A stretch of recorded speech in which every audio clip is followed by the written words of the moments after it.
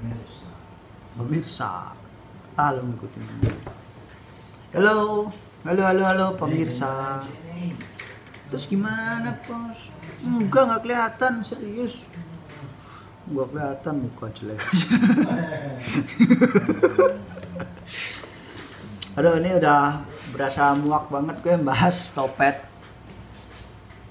Semua eh cerita dimulai dari Tokopedia ini udah ending kemarin saya udah bikin video jadi rencananya adalah gue samperin ke JNT lantai 1 tuh statusnya masih JNT lantai 1 jadi nyampe sekarang tuh masih belum berubah ke si penerima. Tapi kabar baiknya dari Bukalapak eh Bukalapak Tokopedia. Sistem Tokopedia bilang udah diterima John itu coy kenceng banget. Niat itu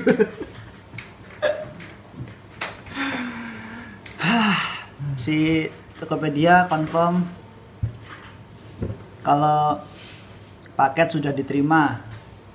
Tapi nggak tahu tuh di yang pencet tuh si penerima atau dari sistem Tokopedia yang auto close tapi gue sih nggak percaya lah kalau sistem Tokopedia auto close begitu tiba-tiba diterima jadi Tokopedia sistemnya begitu. Terus JNT juga nggak bisa nggak bisa. Nggak tahu deh sampai sekarang juga nggak nggak nggak dirubah-rubah. Berarti sistemnya JNT itu nggak bisa. Jadi kalau by phone sebaiknya direkam. Pengalaman terus diskusi forumnya Tokopedia itu yang katanya pusat resolusi yang nggak tahu solusinya yang endingnya cuma diterima aja. Tapi waktunya lama terakhir gue transaksi tanggal 19 tanggal 19 ada proses prosedur diterima tanggal 21 berarti tinggal satu hari lagi 1 2 3 eh, kemarin di notifikasinya jam siang kok jam 14 1 2 3 4 5 5 hari lagi satu bulan. Jadi duit ditahan 25 hari. Top Tokopedia. Huh. sama JNT ini beneran nih kayak kelihatannya uh, perusahaannya agresif banget. Seolah-olah bersaing head to head. JNT JNE JNE itu pemain lama. Kalau JNE zaman dulu emang kayak begitu. Suka dibongkar-bongkar paketnya tapi sekarang udah bener terus JNT langsung aja ngebrak banyak outletnya di mana-mana hampir banyak. Wah satu tempat tuh berapa puluh meter udah JNT udah kayak ini market aja tuh. Tapi sistemnya ya begitulah. Lo maki-maki mau apa jadi ya mendingan tidur. Jadi percuma. Meskipun lo punya bukti di JNT lo bawa ke forum diskusinya pusat resolusinya juga nggak ada faedahnya. Percuma. Dia terus mau ngapain? Ya akhirnya solusi yang gue sarankan kalau lo mengalami kasus yang kayak gue ini sebaiknya pegang dulu kurirnya dari JNT atau lo punya jalur ekspedisi. Kunci dulu di sana. Jadi lo abaikan di forum apa namanya resolusinya Tokopedia anggap aja itu sebagai bukti memang proses tersebut masih bermasalah. Itu mesti lo punya. Terus kalau ada debat argumentasi gue belum ngalamin. Jadi ya yang gue review itu sebenarnya dagangnya sih udah banyak review positifnya. Tapi pegang itu. Lanjut gak usah banyak cincong. Tungguin berapa saat komplain ke JNT itu percuma banget lo bikin komplain-komplain saja gak usah marah-marah percuma serius. Sampai sekarang juga nggak dirubah nggak tahu itu karena desakan si JNT atau apa nggak ada info. Sampai sekarang juga belum ditelepon sama JNT lagi. Terakhir yang telepon yang bos gue gue tuh di telepon sorenya itu ada menghubungi tapi ya seperti itu kita intut datanya nggak jelas. Si CS hari ini ngomongnya benar besok ngomongnya aduh bapak ini penelusuran apalah. Jadi nol lagi gitu. Jadi mulai dari nol saya telepon ke JNT itu. Jadi percuma. Jadi pegang nomor apa bukti kirim. Trackingnya di mana? Samperin ke sono. Itu pilihan terbaik samperin kalau nggak terima ya sikat aja situ. Intinya JNT terus tanggung jawab. Itu bikin proses pengiriman atau apalah gitu. Sama Tokopedia tuh jadi buat sing selektif tuh komplainnya di Twitter banyak barangnya lama nyampe terus nggak nyampe nyampe terus di komplain juga nggak jelas sesama kota bisa nyampe seminggu baru nyampe. Banyak loh di uh, twitternya dia. Kalau ngasih promo-promo emang sih dia mau ngasih promo kerjasama buat dilihat-lihat dulu. Itu ngasih rekanan bu yang benar di review lo kalau kinerjanya jelek ya janganlah lo punya partner bisnis seperti itu. Sama aja lo mencelakakan. Udah jelas-jelas itu eh, ekspedisi bermasalah banyak komplain. Ya jangan diterima lah kita ada orang ada pilihannya gratis gratis gratis. Oh ya mau lah mana ada orang nggak ngeliat gretongan. Di selektif ini di Jakarta loh bro gua. Yang deket kantor di sebelah situ. Gimana kok yang di luar daerah? Yang nggak nyampe nyampe telepon bulak balik bulak balik nggak pakai duit nggak pakai tenaga. Kesibukan seperti itu kan bisa dialihkan ke yang lain. Memang siapa hari teleponin orang ekspedisi komplain komplain komplain komplain tuh seperti itu tuh. Main masuk masuk aja. Di di apa apa aja di review ulang itu partner partnernya jangan asal dikasih gratis JNT gratis ini gratis itu kirim gratis gratis. Tapi kalau nyampe sih nggak apa-apa. Kalau ada banyak masalah itu mesti direview ulang. Jangan main terima-terima saja. Udahlah gitu aja. Jadi ini endingnya. Gue drama Tokopedia.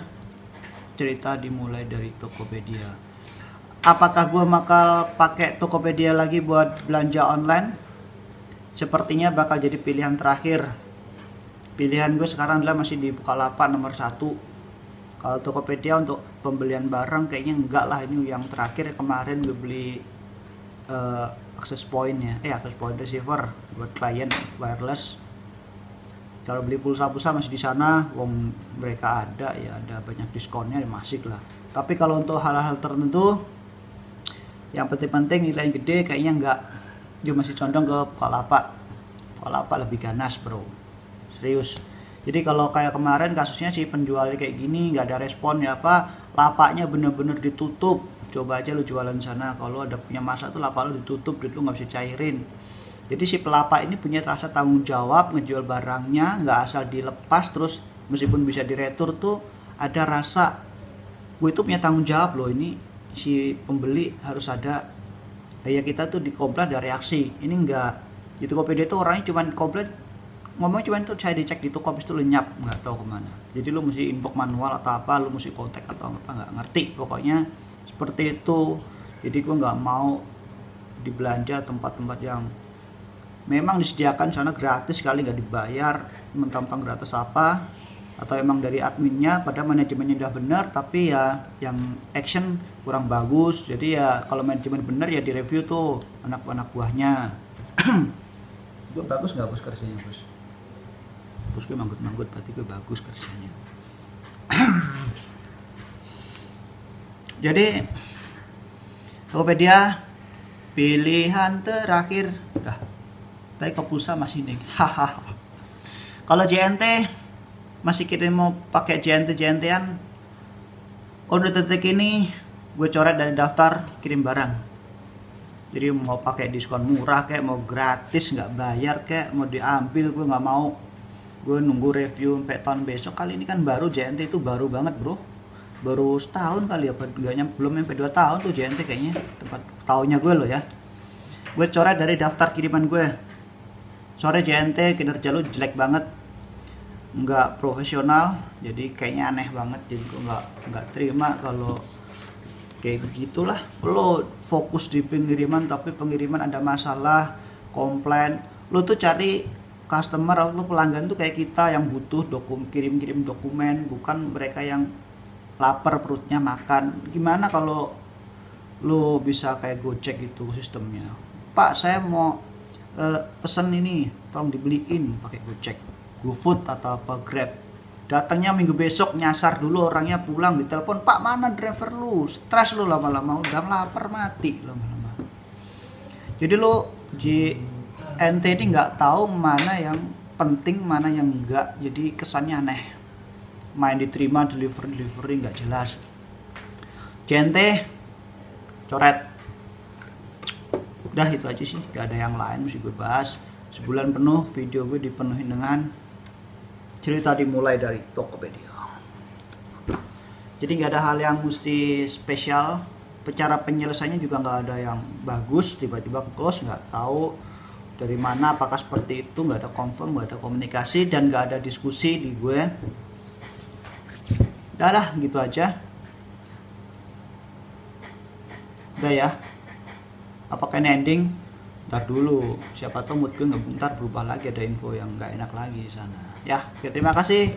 Udah ngikutin drama Tokopedia sebenarnya nggak ada. Jadi pengalaman pribadi gue sharing ke kalian pikir gue duit gue nggak bakal balik. Gue biarin situ aja gue nggak komplain komplain ternyata eh dibalikin. Udah niat ributin kemarin udah gue diskusi sama si John sama bapak-bapak yang pakai topi pakai kerudung tuh.